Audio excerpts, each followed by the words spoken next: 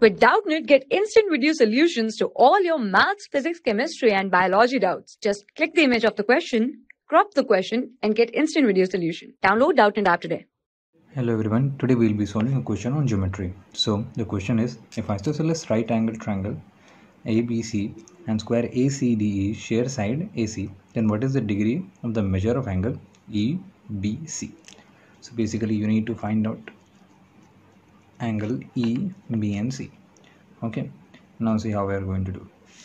Now this is an identical diagram. Okay, now since uh, ABC is a right, uh, right, right angle isosceles triangle, so we are assuming these two sides are must be equal and this is the angle of 90 degree. Okay, now imagine the square length is of one units. Okay, now if this is ED is one, this is also one, this is also one, this is also one.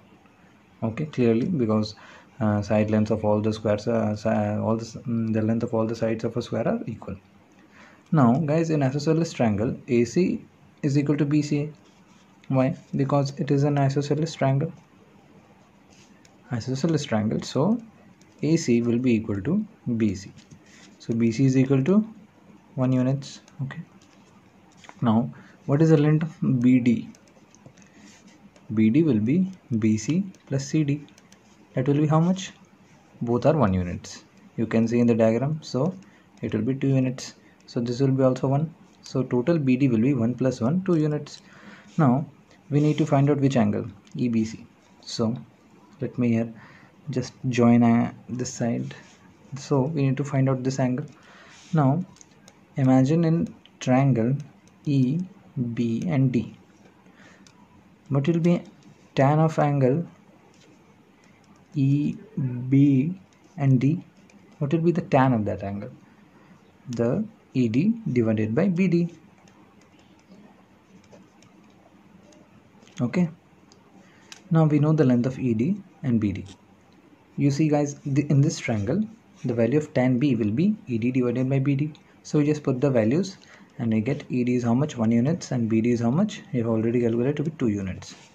So the angle uh, EBD will be just tan inverse of 1 by 2 when tan goes in this side in the RHS part instead of tan it will be tan inverse which is also another trigonometric functions and you can easily get the value of these tan inverse 1 by 2 from any trigonometric charts or from your calculator.